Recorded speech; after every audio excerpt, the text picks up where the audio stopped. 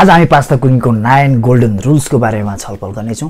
Pasta Italian food हो Italian dish हो। One of the famous dish होइन इटालीहरूको इटालियनहरूको राम्रो खाना हो। र पास्ता बनाउन पनि जान्नुपर्छ र खाना पनि जान्नुपर्छ। बनाउन पनि स्किलफुल लेबर हुनुपर्छ स्किलफुल सेफर हुनुपर्छ होइन। जस्तो सुकैले बनाएर हुँदैन। खाना जान्ने पनि के हुन्छ भने खानु पनि जान्नुपर्ने हुन्छ। जस्तो अब पास्ता बनाउनु जान्ने तर खाना नजान्ने मान्छे पऱ्यो भने राम्रो हुँदैन। त्यस्तै पास्ता बनाउन नजान्ने र पास्ता खानु जान्ने मान्छे पऱ्यो भने तिनीहरूको दुइटाको कम्बिनेसन मिल्दैन पास्ता बनाउनु पनि जान्नुपर्छ पास्ता खाना पनि जान्नुपर्छ। त्यसले गर्दा आज हामी पास्ता कुकिङमा पास्ता कसरी कुक गर्ने कसरी प्रिपरेसन गर्ने भन्ने विषयमा नौवटा गोल्डन रुल्सको बारेमा डिस्कस छलफल गर्नेछौँ। लेट्स गो है सबैभन्दा पहिला हामीले ओइल जब हामी कुकिङ वाटर हाल्छौँ पास्तालाई बोइल गर्छौँ होइन नुडल्सहरूलाई बोइल गर्छौँ ओइल हाल्नु बिल्कुल हुँदैन। तर यहाँ भनाइ के छ भने मानिसहरूले धेरै मिसकन्सेप्सन छ धेरै होइन कन्ट्रोभर्सियल कुराहरू छ। भने मानिसहरूले के भन्छन् भने सेफहरूले के भन्छन् भने पास्ता पकाउँदा ओइल हाल्नुपर्छ ओइलले चाहिँ के गर्छ भने तिनीहरूलाई एकअर्कामा इन्ट्याक्ट गर्दैन होइन एकअर्कालाई चाहिँ बाइन्ड गर्दैन र सेपरेट हुन्छ ओइलले चाहिँ टाँसिँदैन भन्ने हुन्छ। तर वास्तवमा यथार्थमा यस्तो होइन। ओइल चाहिँ के हुन्छ तपाईँले जब पानीमा ओइल हाल्नुहुन्छ पानीमा ओइल हालिसकेपछि चाहिँ त्यो ओइल चाहिँ माथि सर्फेस लेभलमा आएर बस्दिन्छ। त्यो मानि मुनि हुँदैन। होइन मुनि पास्ताहरूलाई चाहिँ ओइलले कभर गर्दैन। पानीको बिच भागतिर मुनि सतहतिर पानी ओइल बस्दैन। तर माथि सर्फेस लेभलमा आएर बस्ने भएकोले गर्दाखेरि ओइलले एक्ज्याक्टली हामीले भने जस्तो काम गर्दैन। हामीले सोचे जुन अब्जेक्टिभ जुन पर्पोजले हामी ओइल हाल्छौँ पानीमा पास्तालाई बोइल गर्दा तर पानी त्यसले ओइलले त्यो पर्पोजले काम गर्दैन। सतहमा आएर बस्छ र त्यसले इन्स्टेट तपाईँले धेरै पानी लाउनु पर्ने हुन्छ। एउटा मात्रै वे छ कि पास्तालाई स्टिकिङबाट हटाउने स्टिकिङ हुनबाट चाहिँ जोगाउने चाहिँ तपाईँले धेरै पानी हाल्नुपर्ने छ। पानी हाल्नुपर्ने हुन्छ। लगभग एक सौ ग्राममा चाहिँ एक लिटर पानी तपाईँले एक सौ ग्राम पास्ताको लागि एक लिटर पानी चाहिँ हाल्नुपर्ने हुन्छ। दोस्रो नम्बर ब्रिङ टु द होइन water to boil full boil full बोइलमा ल्याउनु पर्ने हुन्छ। फुल बोइलमा ल्याएर मात्रै तपाईँले के हो पास्ता हाल्नुपर्ने हुन्छ। पानी बोइल गर्ने पानी राख्ने त्यसलाई फुल बोइल गर्ने त्यस पछाडि मात्रै पास्ता हाल्ने। किनभने जब तपाईँहरू हामीले चिसो पानीमा हाल्छौँ पानी बोइलिङ पोइन्टमा नगइकन हामी पास्ताहरू हाल्छौँ के हुन्छ? स्टार्स हुन्छ स्टार्स ग्लोई हुन्छ होइन?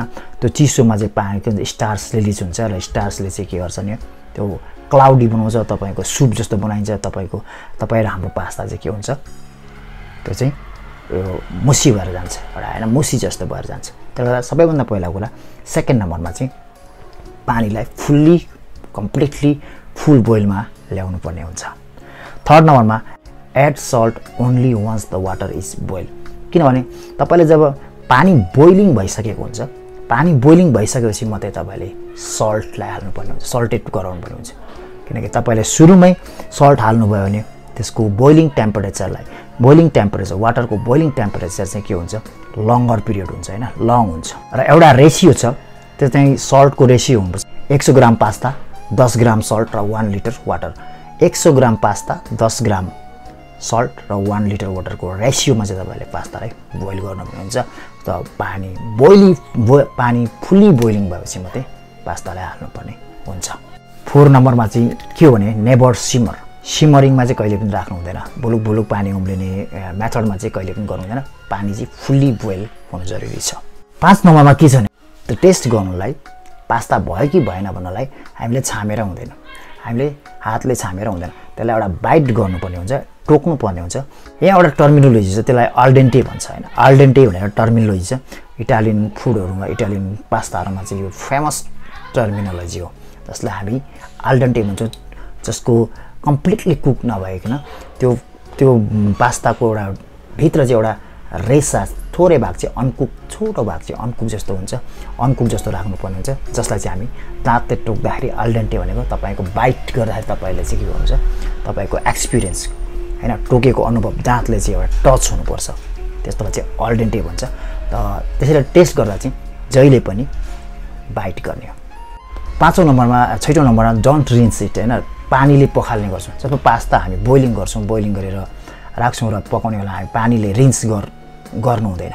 रिन्स गऱ्यो भने चाहिँ के हुन्छ भने त्यहाँ भएको स्टार्चहरू त्यहाँ भएको सबै कुराहरू चाहिँ हामीले पखालेर पठाइन्छौँ र त्यसको त्यसले चाहिँ फेरि जब हामीले पास्तालाई कुकिङ गरेर चाहिँ एउटा त्यसको रिजर्भ वाटर हुन्छ त्यो रिजर्भ वाटर चाहिँ हामीले के गर्छौँ भने अलिकति अलिकति रिजर्भ गरेर राख्छौँ। होइन त्यो पानीलाई राख्छौँ। जब हाम्रो पास्ता चाहिँ अलिकति थिकनेस चाहिन्छ अलिकति अलिकति हामीलाई झोल जस्तो चाहिन्छ भने त्यो वाटर वाटर हामी फेरि हाल्नेछौँ। किनकि त्यो वाटरले चाहिँ त्यसले चाहिँ त्यसमा चाहिँ स्टार्सहरू हुन्छ त्यसले चाहिँ छिटो नै त्यो पास्तालाई चाहिँ के गर्छ भन्छ एउटा झोलयुक्त बनाइन्छ।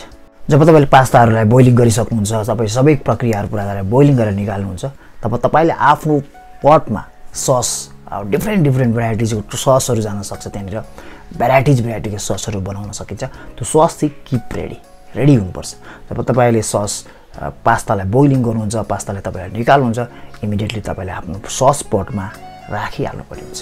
ताकि त्यसलाई कुनै ढिले विदाउट एनी डिले होइन कुनै ढिलो कारणले ढिलो नगरिकन त्यसलाई पट सस पटमा हालिसक्नुपर्छ। सस हालिसकेपछि तपाईँले टोस्ट गर्ने होइन हल्लाउने फ्लिपिङ गर्ने त्यस पश्चात के भने immediately serve in the right away immediately serve गर्नु त्यसलाई कुनै पनि राख्नु हुँदैन कुनै पनि होइन धेरै समयसम्म राख टेबलमा राखेर किचनमा राखेर चिसो बनाएर अथवा राख्नु हुँदैन। त्यसलाई इमिडिएटली सर्भ गर्नुपर्ने हुन्छ। र कुनै पनि पास्ताहरू चाहिँ अर्को नम्बर नाइन नम्बरमा चाहिँ कुनै पनि पास्ताहरू चाहिँ लेफ्ट ओभर भयो कुनै पनि छोडियो भने प्रोफेसनल किचनहरूमा चाहिँ के गर्छ भने त्यसलेबाट अर्को डिस निर्माण हुन्छ। अर्को डिस निर्माण गर्छन् जसमा धेरै धेरै भेराइटी फुडहरूको नाम छ धेरै नामहरू छ। Pasta golden rules nine golden रुल्सको बारेमा हामीले छलफल गऱ्यौँ। पास्ता पनि हामीले जान्नुपर्छ पास्ता पकाउनलाई पास्ता पकाउनलाई जान्नुपर्छ पास्ता खानलाई पनि जान्नुपर्छ होइन? त्यसले गर्दा सेप स्कुलमा चाहिँ आज हामीले यही विषय thank you very much bye bye